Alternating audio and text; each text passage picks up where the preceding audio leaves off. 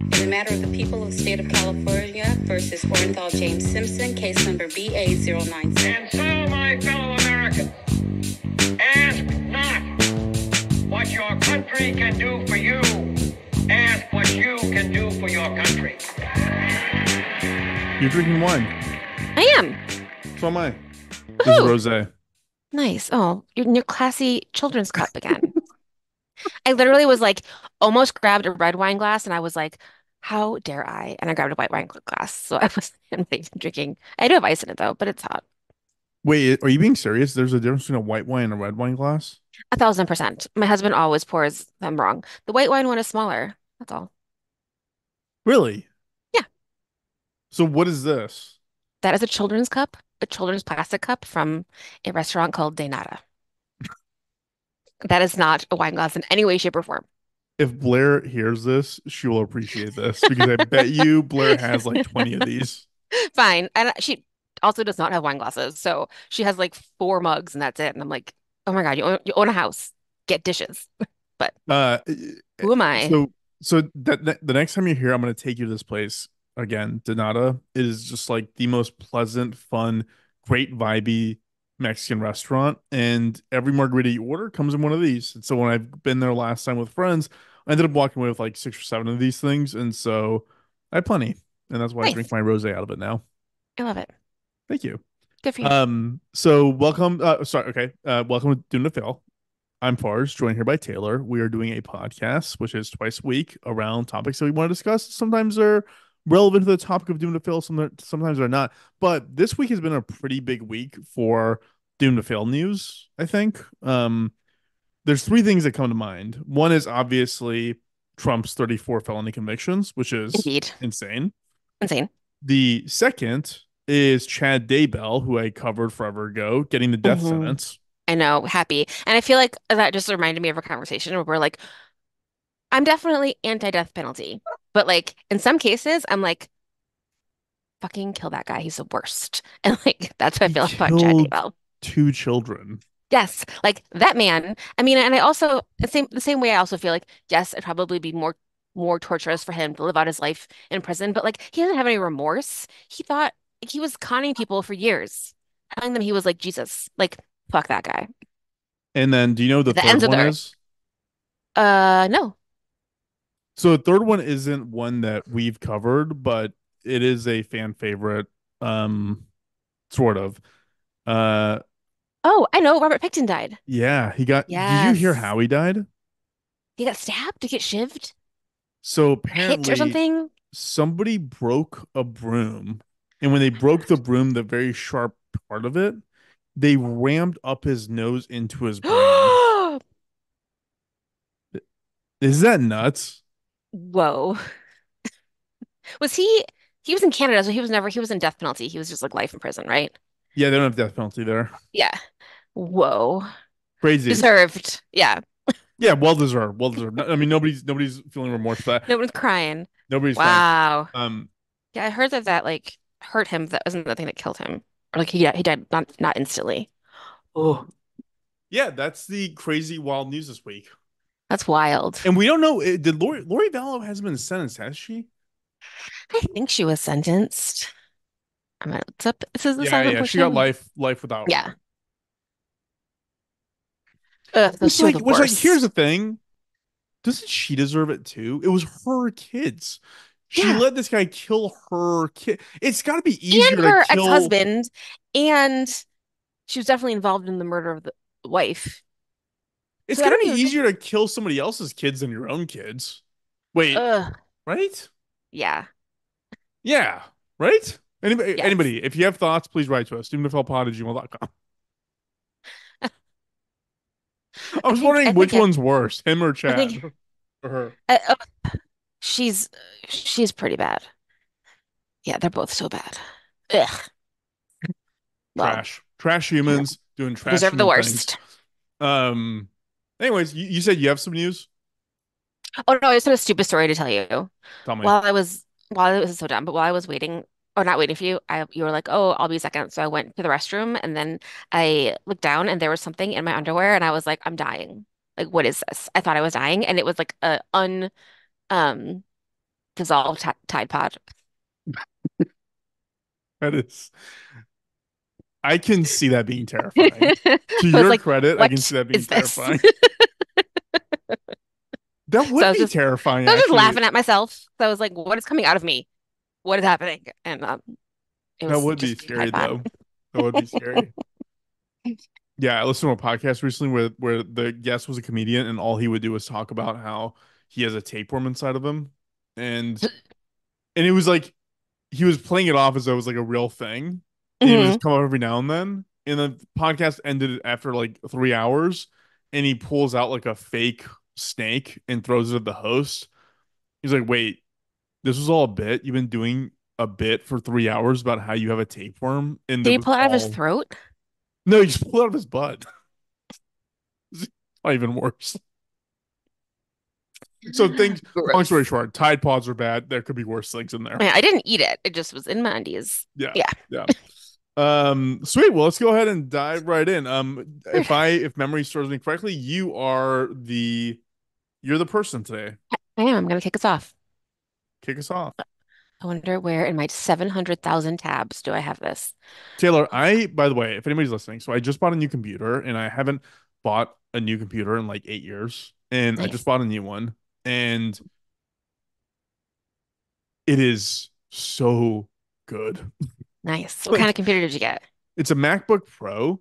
Nice. And first off, one thing I would say is that I got like the the bigger one, and Mhm. now that I have it, I'm like, ooh, this thing isn't that easy to actually have on your as a laptop. It's like a desktop. It's like a pretty Mm, big mhm, mhm. computer, but also if you haven't used like a new laptop in the past couple of years, these things are like really good. It's really nice. I have mine. Well, I have mine from so my last job they made me send it back, which was annoying because it was really old anyway. And then the job before that they let me keep it, and that one died, and that was I was pissed because it was relatively new. But the one from the job where we worked together, Florence has. It still works. Ma- I know. Apple, like they nailed it. Like they really, really nailed. it. I love that. Yeah, I got a new Mac, mm, maybe like a year and a half ago. Oh no, I got it when we started doing this because I didn't want to do this on my work laptop. Yeah. And Nicole worked at the Apple store at that time, so I got her discount. Oh yeah, yeah. I I get the same thing. I got a I got a friend's discount. No, I I, I was doing this on my own MacBook, but the, my own MacBook was from 2018. And when I would Mhm. when I would edit it, it, if I had to freeze it in a location on GarageBand to cut the parts together, I mean, just pausing it and cutting it and bringing them together would be like three minutes because the thing Yeah. would just freeze. It was it couldn't handle that much processing. I was like, I'm totally done doing this, and so Um, also, before I get started, based on speaking of performance, we're gonna get fiber internet tomorrow. It's huge. That's It's huge. huge.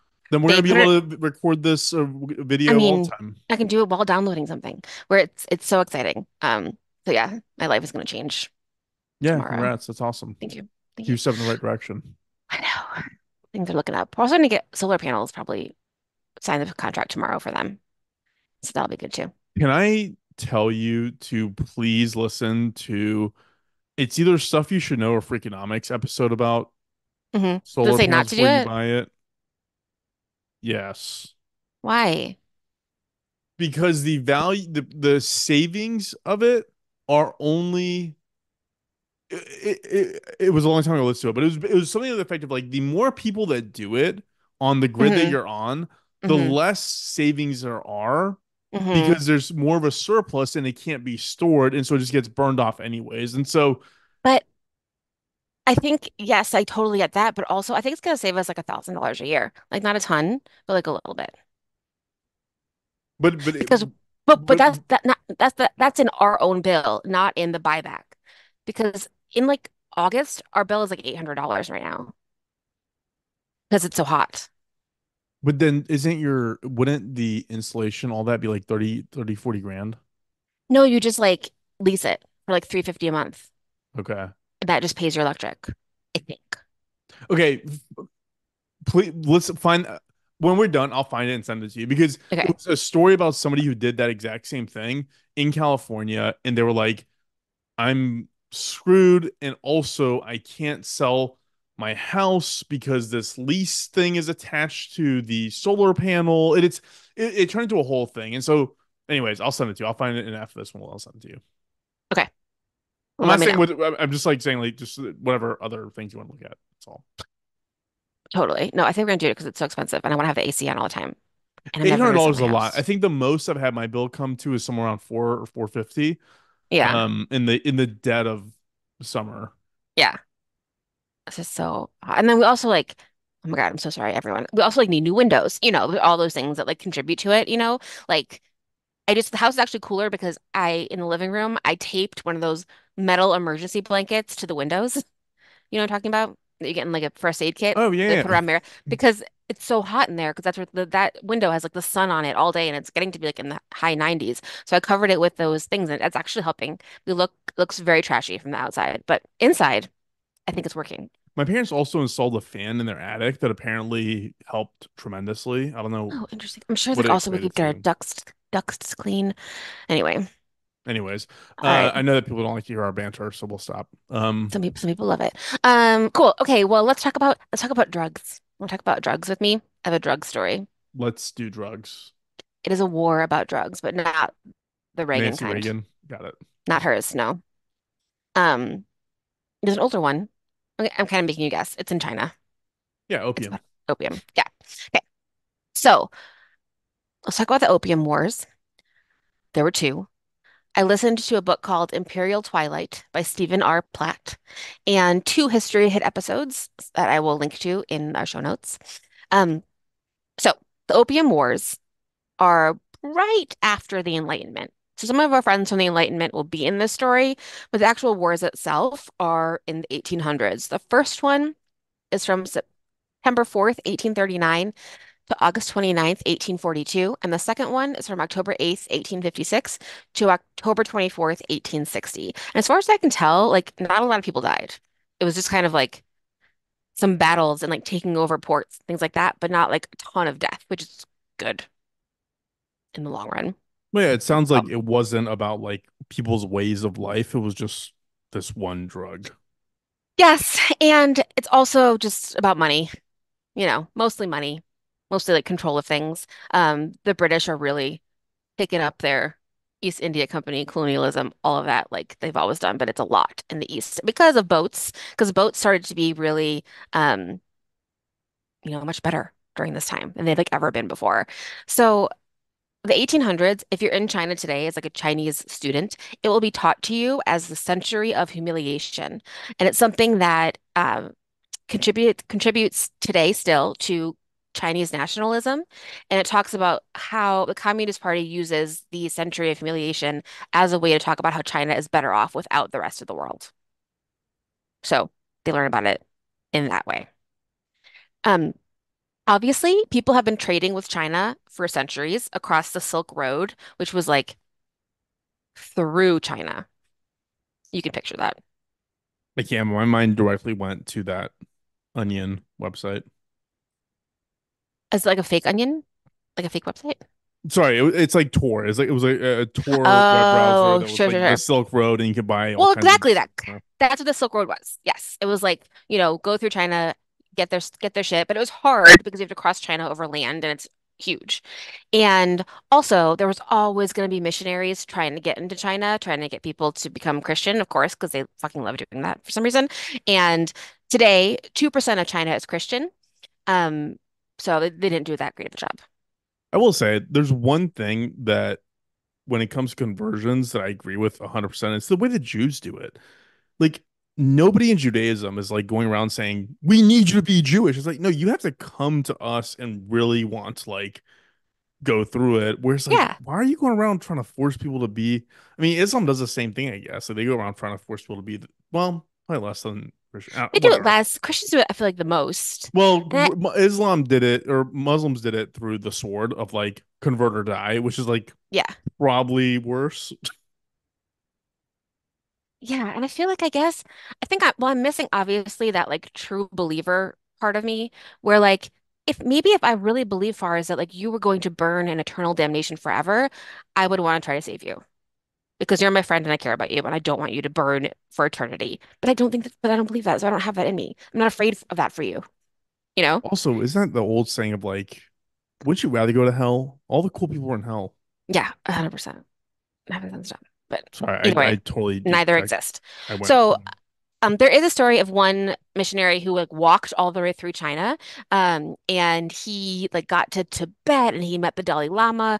Um, the Dalai Lama at the time was like a four-year-old, and he just had all these fun stories. But like they've been trying to do that forever. Um, but there are going to be obviously some barriers. So now it's like the late 1700s, like during the Enlightenment time, there are bigger boats, so they're able to get there via boat to start trading with China. It's still a long, long way. So even like during the Opium Wars, it still takes like a year to get a letter to, to England, you know, which seems so hard to fight a war when you can't communicate with anyone. You know, like you have your own people on your ship, but you can't talk to the people in charge. There's years between communication, and then so much changes between them too. I don't know. It sounds impossible. Um, so China isn't closed to trade. So like, I think we have this idea that China is like this totally locked down country. Like they were trading with people for centuries, but it's very, very like limited and they control a lot of it. So there's a big, the biggest port is in Canton and they let like British and French and Portuguese uh, merchants come to Canton for a part of the year to conduct trade. Um, they don't allow women or families because they don't want people to start to grow roots in China. They want them just to come to trade and that's it. So the women and children have to live on Macau, which is owned by by Portugal. So it's hard to like you can't stay there and you can also cannot learn the language. It's illegal for a Chinese person during this time to teach someone how to speak Chinese. So they want to keep that like in their own stuff. Makes So they've always wanted to do population control. Yeah. Yeah.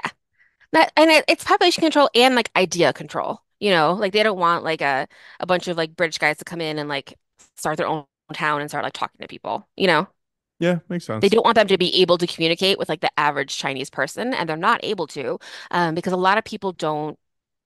Nobody really speaks Chinese, none of the British or the French, and they're not allowed to learn. So that's where we get like this. I thought this was interesting, like that, like there's some things that are like a stereotypical, if you imagine someone pretending to be Chinese, they say some, they talk in like a, a racist like cadence. You know what I mean? But a lot of that is because the Chinese merchants were only allowed to say a couple words in English and uh-huh, vice Uh-oh. versa. You know, so like one the one that I remember from the book is like the phrase chop chop. Like that comes from the British and the English trying to talk to each other and trying to make people go faster, you know, but they like aren't allowed to like really learn each other's languages, so they cannot really communicate. That is fascinating. And that's on purpose. So a couple people do learn h how to speak Chinese. One of the first, I mean, and of course there I'm sure there are outliers, of course, but one of the first people from Britain is a, a little boy named James Flint. Um, he kind of gets dropped off when he's younger to go learn to speak the language. And he learns Cantonese, but then quickly learns that like, oh, a big part of China speaks Mandarin. So he can't even communicate with them. So he learns a little bit of it. And um, he ends up, he always kind of resents it because his dad just kind of like put him on this boat and made him go learn Chinese. And he'll go back and forth to China his whole life and he'll start working for the East India Company. So a lot of people in the story work for the East India Company, um, doing trade with them. And I don't know if I'm going to mention James Flint again, but he did go back to Europe in the 1770s and he ended up teaching Ben Franklin how to make tofu, which is super fun. Weird. Weird, right? But fun. So, Is that his contribution to society? Is I like love the idea of Benjamin Franklin discovering tofu, like being like, this is incredible. I don't know what to do. And, and now I can only picture him as um Michael Douglas from the show. So I'm like, oh yeah. it's just like, it would be great. It'd be a delight. He would love it. Um, so another person involved in learning Chinese and trading is a man named George Thomas Staunton. He's also going to work for the East India Company. Um, I'm only mentioning him. He's like a big background in the story, one of the people who was really trying to get others to learn um, Chinese. He would get to China via Tenerife. He he sold he sailed from to Tenerife to Rio and then down to China. So takes a while to get there, but he's he did that. He's in and out of the story. Um, the first person to write in Chinese English dictionary was named Herbert Allen Giles, and it was like hundreds of pages because obviously China Chinese is like a really complicated language that has hundreds of characters. So he was the first person to try to like write it down because before then people kind of didn't think that it could be translated, you know? But we all have like the same thoughts and ideas, right? We all have the same. Like they're not saying something yeah. in Chinese that's impossible to say in English Yeah, I for the most guess. part. I guess. I, I I have noticed like I when I think in Farsi, it is a little bit different than when I think in English because the language is different. So like the layers and the emotions that are associated with it are different, I guess. Interesting. hmm Anyways, No, it's interesting. Cool. Um, so that's kind of that's the prelude to, to what's happening. Um, the East India Company is always there. I'm trying to like expand trade in that area. Obviously in India, just in the whole South Asia, Asia area. There's other cool things that happened before the Opium Wars. There are Chinese pirates. There are people who are like outside of is a it's a Chinese imperial government, and this is actually going to be like the end of the empire for um for the Chang Chang dynasty. Oh my God, I'm, I messed it up and I wrote it down. The Qing dynasty. It's pron- it's spelled Q-I-N-G, but pronounced Qing. Q U I Q U I G Q-I-N-G, Q I N G. Okay. but pronounced Qing. And do you remember when the internet first started and there were those videos of that guy pronouncing things incorrectly? No. No, I don't remember the day the internet started, Taylor. I don't know what you were doing that day, but I feel like one of the first things playing YouTube outside. was like a guy like pronouncing words wrong, like hyperbole. He'd be like hyper bibbidi You know, it was funny. But now I can't. Now I feel like whenever I go find a trend a pronunciation thing, I'm like not sure if it's real or not. But this is the story is gonna be the end of the Qing dynasty. Is my point. Um, there's some folks who ne never want to be a part of Chinese society, and they always live on the water. And there are these like Chinese pirates who go around ports. And there's a really cool story of a woman named Shi Yang, who was a lady pirate, who at one point commands like 70,000 people on like all these ships, and they like never ever stop on land. And they're just always um, trading back and forth on their ships. But they actually get um, folded into Chinese society, all of them. So we're going to give them amnesty and like let them live on land. So there's like uprisings happening in China. Also, by the by the way, during this whole entire time, you know, Britain's fighting the Revolutionary War with the United States. It's fighting the Napoleonic Wars. Like there's all sorts of stuff going on, which, you know, if you want to be a world empire, I guess you're gonna have to fight like a ton of wars at the same time. And that's what Britain has going on. Um, there is a rebellion in eight in at, at the very end of the 18th century called the White Lotus Rebellion, where a religious sect thought that Buddha was going to be returning, so they wanted to take over the empire. Um, a lot of people died in that one. It took eight years to crush that rebellion. Some of them, you know, got into the imperial palace, tried to kill the emperor. There's all sorts of stuff happening with that. So that rebellion was like fresh in people's minds. And in 1811, there was a comet that freaked everybody out. So like people are kind of on edge because of all of the trading and people are trying to get into China and China's having its own rebellions and sort of an inevitable, you know, globalization is going to inevitably get into Chinese culture and this is the beginning of it. Like for real. I wonder where the whole like a comet is the symbol of things changing started. Because with Yeah, a Hale-Bopp, you know, like they they hmm all killed themselves and I know. I do think it'd be fun to not know what an eclipse was and like be there, be around during an eclipse and just be like, what the fuck is going on? so scary. Like, oh my God. Like that. And then like if someone was inside, they would never believe you. Just so fun. Um, but so all that's happening. China is huge, but it does have an it has a small navy, but their boats are nothing like the English boats. Like they they cannot compete with them in in maritime battle. Um, during the uh, Qing dynasty, the emperor is Emperor Dua Guang at this point. And it's definitely within the imperial palace and the emperor's circle. It's a culture of like they don't tell him what to do and they don't really make suggestions. It's sort of like a yes, sir, we agree with you. So even when people start to have good ideas and like have their own ideas of where the government should do, they don't tell the emperor. They'll be like, "Oh, hey, I saw this letter that my friend wrote, and like it's dumb. Do you want to read it anyway?" And then like he would read it, and the emperor would be like, "Oh, kind of like it." He'd be like, "Oh, really? Okay, well, I thought some parts weren't dumb." You know what I mean? Just like you wouldn't get your head chopped off. Right. You would like be like, "Oh, this is an idea that I saw." So um, that's what's happening in in China, and on the English side, it's Queen Victoria. She it's the Victorian era um, in England, and the East India Company, again, has been trading with China for a long time. And legally, the things that they are trading are spices, silks, and tea. Do you drink a lot of tea? No, it's a cultural thing. Um, it's an Iranian thing. So every Iranian I know has tea every morning, afternoon, and evening. hmm Um, there's actually a drawer in my house, which is my mom's like, just never go in this drawer, and it's just all of her tea stuff. Oh, So when they that's cute. visit, they can have their tea. But I I never, I never got into it. It's amazing. So tea, people have been drinking tea for thousands of years as well, but it came over to like England and the, in the Europe area in like the 1600s, and they started to like it because people were before that they were drinking like, you know, beer all the time and like gross water. So they're trying to figure out coffee and something else so they can drink. And all of a sudden they can't fucking live without it. You know, and it starts to get more and more expensive. So, besides herbal teas, all other tea is made from the same plant, um, the Camellia sinensis. Did you know that? No, So green tea, black tea, white tea, oolong tea, and then another one called pu-erh tea. It's all made from the same plant. The green tea, they take the leaves off when they're green and they quickly oxidize them by like steaming them or or pan frying them. Um, no, that's to stop them from oxidizing. Uh, and those are the leaves that you use for green tea and for matcha. They they dry them and then grind them. And then black tea is fully oxidized, oxidized, which means they like let it dry in a certain way, um, which makes it really dark. And then white tea has like minimal processing. Oolong is a more more oxidized. So it's all the same plant that gets tea, and that plant is like really easy to grow in in Asia, and that's why a lot of tea comes from there. That's where it started there. you don't drink tea, do you? Um, I like sometimes at night I'll have a little bit of tea, but like it kind of makes me gives me a headache. Like I, I, I I will. take a Um, vitamin.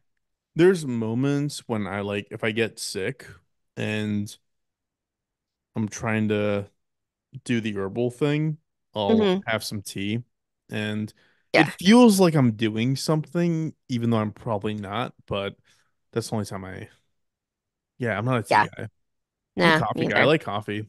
Yeah, me too. Me too. Um, so That's what England wants. England wants the tea mostly. And you know, you'll remember there was like all the stuff in the US around like tea being taxed because we wanted the tea also, but all the tea is coming from China. Whether it's coming from China, from Britain to America, like it's it's all coming from China. And China doesn't need a lot of stuff. Like China is huge and it has most of the stuff that it needs. Anything that's going to trade with other countries for is kind of like a nice to have. Like it doesn't need anything. It doesn't need it doesn't need the UK as much as the UK needs China all of a sudden there's something that China needs, and that thing is opium. So, do you know where opium comes from? Uh, probably Afghanistan. Uh, it could probably grow in Afghanistan. Um, no, I mean like where does it derive from? Like where's it made from? Oh, it's a poppy plant. It's a poppy. Do you know how it is made? So they take the um the middle part of it, whatever that's called, out, and then they cut it, and then it seeps out, dries, and they mm-hmm. scrape the dried bits off or something, right? Yeah, that's exactly right.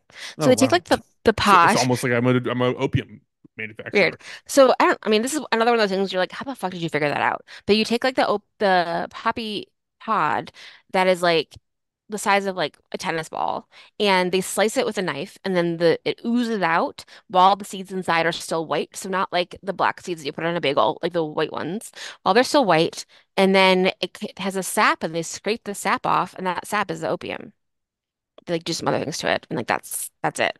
So I feel like someone like accidentally cut a poppy pod and then licked it and was like, "Holy shit!" Like that's how we got here. Yeah, there, we could probably do 50 episodes on how do we find this out Yeah. discoveries. So the poppies are, you're right, in warm climates. Um, but for our story, the poppies that are part of the Opium Wars are grown in India. So they're not grown in China; they're grown in India, India and brought over to China. So Yeah, this is how you make it. You get morphine, codeine, heroin, all come from the same um the same thing. Laudanum, which is just like a very Victorian thing. I feel like in Victorian movies they're always like taking a dropper of laudanum Yeah, the like Winchester out. House. That's the guy I was doing. Remember that Oh movie? yeah, yeah, yeah, It was yeah. So that is that is opium mixed with ethanol alcohol and like maybe a little bit of flavor. But it's like rough. But it's gonna make you feel super high. You're gonna pass out. Um, obviously it's one of those things that was like used as like a prescription drug for a, not, I mean Yes, obviously opiates, but also like the Victorian era. Um, it was one of the things it was used for was a cough suppressant, but really it just like made you pass out so you won't cough anymore. It works. It's effective. You're like, oh, it works. So China is people are starting to get addicted to opium in China because the British are bringing so much in. And another thing that China wants besides the opium that it, like illegally wants, but it doesn't have a lot a lot that it wants from the UK, but it does want silver. So China is in like a two metal system right now where like most people they have copper coins and then there's silver coins that the like the rich more rich people have and people like want silver. That's like the big thing there. So this will destroy the economy in like a very classic economic way. Well, they will get all of the silver. Like most of the silver in the world will end up in China during this time and that will like tank the value of silver and that will wreak havoc on on the economy. The British are in this loop where they are like until they ban the transatlantic slave trade, which they will like in the 1800s, but before that, they are enslaving people, bringing them to South America, also enslaving South Americans there to dig up silver, to bring to China, to give to the Chinese to get their stuff. So it's like a whole worldwide chain that they have going on, and a lot of it is based on silver as like a metal. There's that having the silver, and the opium's coming in. It is illegal, and but people are using it more and more as it gets cheaper and as there's a lot more of it coming in. The people who are going to get rich are these like British and American middlemen. There's a company uh, started by two men called Jardine Matheson. It was started as an opium trader in 1832. Today, it is one of the top 200 publicly traded companies in the world and has over 400,000 employees. It's officially called a Holdings Limited is a it's a Hong Kong-based Bermuda domiciled British multinational conglomerate. I have it's a very business business business place and it still exists today. What does it do today? I have no idea. That's what it says. It's a British multinational conglomerate. I don't I, I couldn't figure it out. Weird. It, it's just like they hold they like own a lot of stuff and like trade of it. I'm sure someone knows, but I couldn't figure it out really. So like that company still exists. They got their money from the uh, illegal opium trade. Another person who will be there getting making his fortune is Warren Delano, who's FDR's grandpa. He makes his money from opium. And another man named Francis Blackwell Forbes. He's not the Forbes of like the magazine, but he is John Kerry's great great grandpa. So a lot of like American dynasties come out of this. So it just kind of goes to not... show that like the chips are kind of stacked against you. Like yeah. It's like, like it's like like if you weren't selling opium to China in the 1800s, you know? Yeah. I don't know. Like, sorry, my grandparents weren't doing this, and now we're here. Yeah. You know, instead of being a Roosevelt. Um, yeah, totally. And they're not bringing in like a little bit of opium; they're bringing in hundreds of thousands of crates of opium. And so the emperor, uh, Daoguang, is trying to figure out what to do. Some people are like, you should legalize it, you know, which is like a very common thing that people think when there's a drug problem. You should legalize it so you can tax it, so you can monitor it, you know, all of the things that that we know. And but nobody will really say that. So they're trying to like suggest it to the emperor, but like they kind of like teeter back and forth on it. And they they several times they officially make it illegal. But you know, the fact that they had to keep doing it means that no one was really listening. You know, so people don't really care. They just want it. Um, there's a Governor General Governor General Lin Zexu is in charge of figuring out what to do next. He's one of like, the top, top people in the government. So he writes an open letter to Queen Victoria and he's like, hey, can you stop this? Can you stop this opium coming into my country and hurting the people here? But she never gets it, but it does go to the London Times and it goes in the paper. So, like, I'm sure she saw it or whatever. He also does a thing where he's like, everybody has to stop doing this drug right now. So he brings opium addict opium addicts into groups of like 10 and he's like stop doing opium right now. If one of you does it, I'm going to kill all of you. So they created that was a pretty good incentive for people never to do it again. So they created like little communities of people not doing opium because if one person did it, they would all die. So I like try to stop people from doing it. If it was me in that group, I would just do the opium immediately because I'm like, one of these other addicts is gonna do it and I'm gonna get killed for it. So might as well be high when it happens. That's what I feel like the prisoner's dilemma is. Like, just do the opium. just do the opium. but they're trying to do that. One big thing that happens to start the first opium war is uh, Lin Zexu. He seizes the fort in Canton that a lot of these like American and British traders are at. Delano is there. It sounds kind of hilarious because it's actually it's a bunch of like rich white guys without their servants. So they like the Chinese servants aren't there. So these guys have to like figure out how to cook. You know, so like Warren Delano figures figures out how to make like a rice pudding from a cookbook. But other than that, they're like burning their food. They don't know how to make their beds. They don't know how to like get their clothes ready. They have never taken care of themselves before. So now they're in the siege, but they have plenty of stuff. They're not being starved out, but they can't leave and they can't trade and they're stuck in this fort. That's one thing that's happening. And while they're there, there's this dude, and this is kind of this dude's fault. His name's Charles Elliot.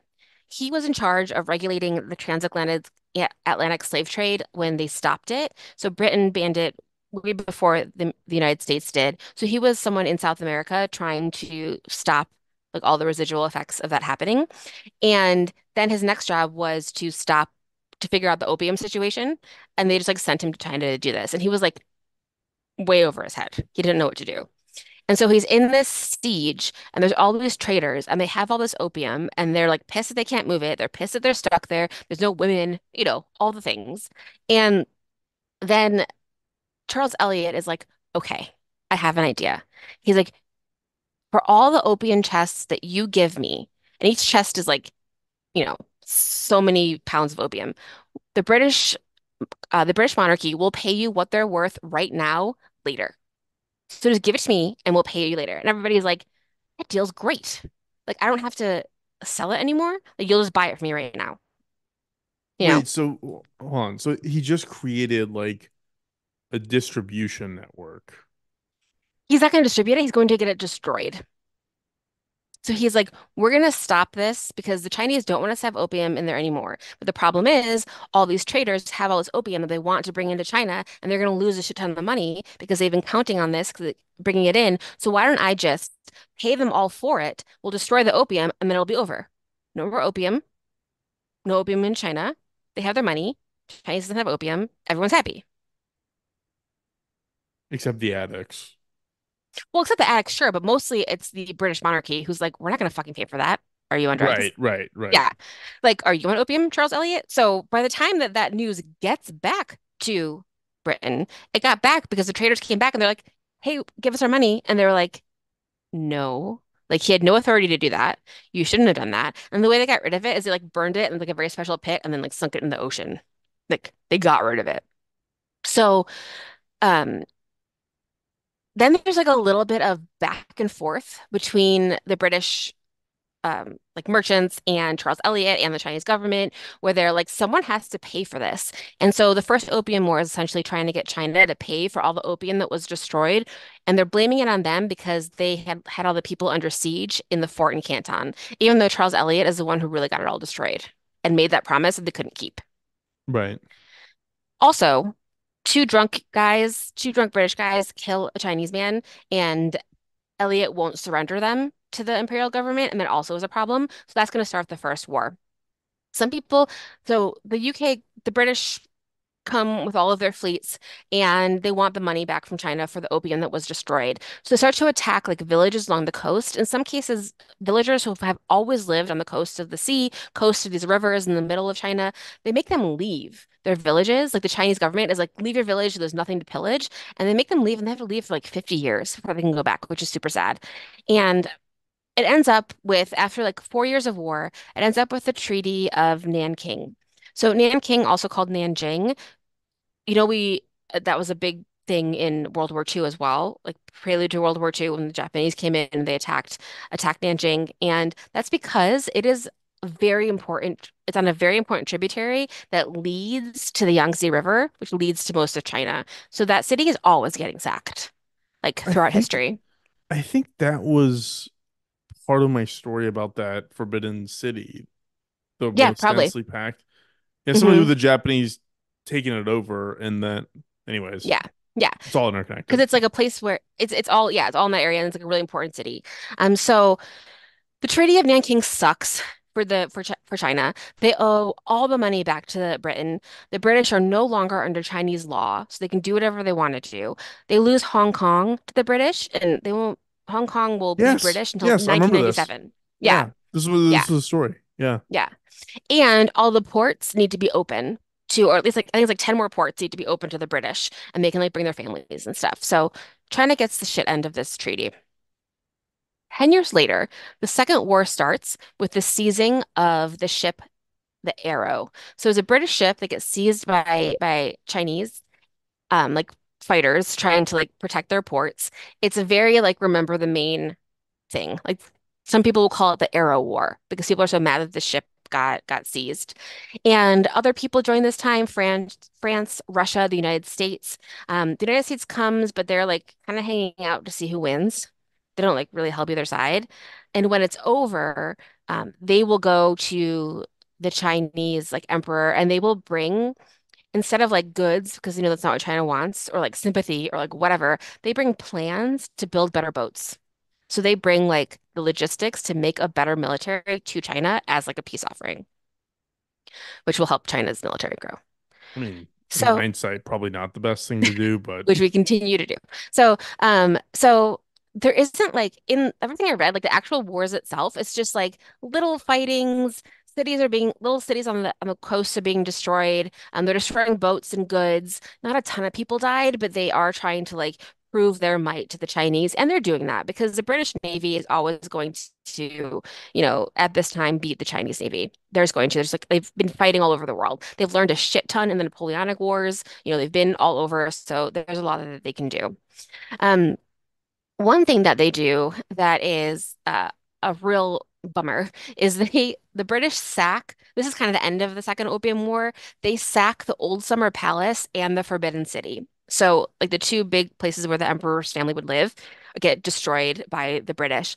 They do things like steal all the stuff. You know, there's like British guys like wearing the like holding like all these pots and like wearing all these silks and just like taking everything from these places. And it reminded me of um, in Dan Carlin's Genghis Khan series, he talks about when the Mongols um, come and sack parts of China, and the Mongols will wear these like beautiful Chinese silks until they rot off their bodies.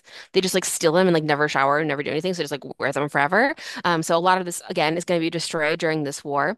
Another guy that is there, of course, is Lord Elgin's son. Do you know the the Elgin marbles? You know what those are? no. They're in the British Museum, of course, but they're from Greece and they belong to Greece. And Lord Elgin stole them and brought them to the UK. And it's something they're still in the British Museum, but I know like George Clooney's wife was a lawyer trying to get them to go back to Greece. Like they don't belong to the UK. They're in the British Museum. Another What is it? What is it? Art? Uh, no, they're they're it's a marble. It's a um, what's it called? Like the top of a building. All of the marble statues that are kind of like half in, half out of the wall. Okay. So like if you're thinking if you think of like the Acrop it's not the from the Acropolis, I don't know, it might be, but the Acropolis, pillars, and then it has like the kind of half triangle at the top full full of uh sculptures. So that's what mar marbles are, Oh, oh, okay. you know. Yeah, I'm, I'm looking at Um them. so his son is going to be there sacking these um the Summer Palace and the Forbidden City. And so they also steal these Pekingese dogs, these like Chinese dogs, and they give one to Queen Victoria, and she Oh, names it Looty because it's loot from looting these palaces, and she loves it so much it's like in paintings. Like, what the fuck? um, I love all dogs, but those are particularly ugly dogs. She named it Looty to remind her that they looted the Chinese imperial palace to get it. I mean, it's not great. I think that's wild. I wrote, what the fuck, Vicky? Like, that's crazy. Um, so after this is over, there will be a couple more treaties. And the Chinese will lose parts of Manchuria to Russia. They'll lose more of the south part of China, um, and they will lose like 10 more ports. Like they will, it'll, it's not good for them. This is part of their, you know, century of humiliation. And the last emperor of the Qing dynasty will be Xuantong, and he'll reign until 1912. And after that is the Chinese Revolution, and then China becomes a republic. So this is really like the end of imperial China.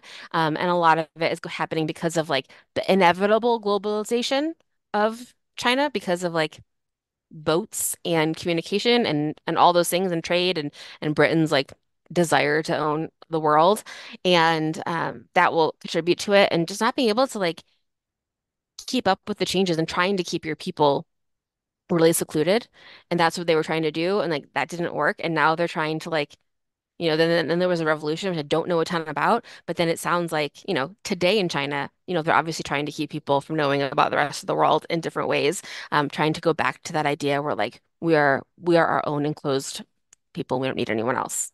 It's so crazy because in it just it's just so antithetical to human nature to try to keep someone from reality. Yeah. Like whether that's like a society in the government or parents and kids, it's just like reality is going to come crashing into you one way or another. Yeah, at some point you're gonna like see other people. It's really, really wild. Because if you think about it, like the people in China and the people in like North Korea, and then hmm everybody else are living in a totally different world. It's crazy. Like I can't I've seen a couple of documentaries where they show you like a little bit of North Korea, you know, but like they just don't know what the rest of the world is like, like you wouldn't know a thousand years ago, you know? Like Yeah, even about those like documentaries, they don't show you the people exactly. there. They only show you like the government sanctioned tours, and you just have to Right. infer what that life must be like. But like that's what I'm curious about. Like, what's the person's life like that's like living there? It's gotta be crazy.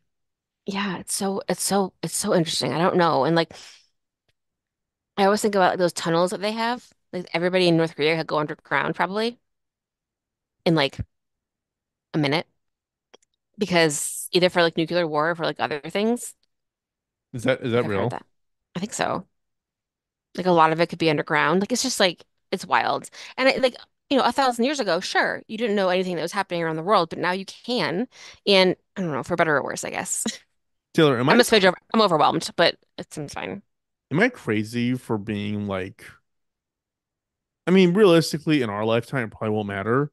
But I do think that China is like probably like the US is probably on its way out in terms of being kind of like a global superpower, and that China's probably the next up on the ladder. I mean, Yeah, I read a great book about um it was about data and like looking at the history of the world, and a lot of it was like, you know, the economy in China is moving up, so like things like super cheap labor, not that it doesn't still happen in China, obviously, but is like moving to Africa, and like it's actually how that like is good for Africa because that's their next step in like their economic revolution. But then like, you know, who gets it after that to be able to like move up and do like the next thing?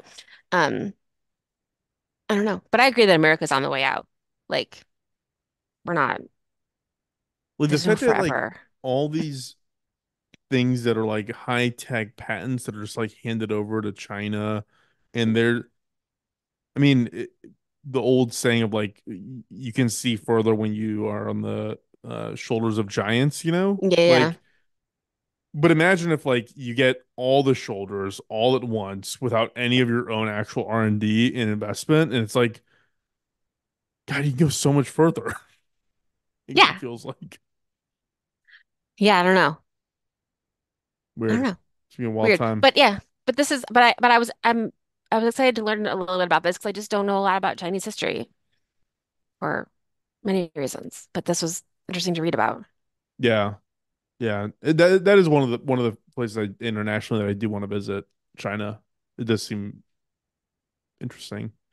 I don't know. My Um, husband was there. Juan was there many years ago when we first were dating, and he was like, every single thing I did, I was like, Taylor would hate this. like what?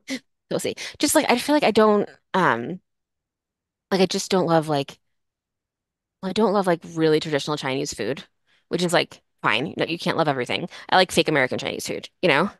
But if I go to like a really authentic dim sum restaurant, I don't like it. It's not for me. Yeah.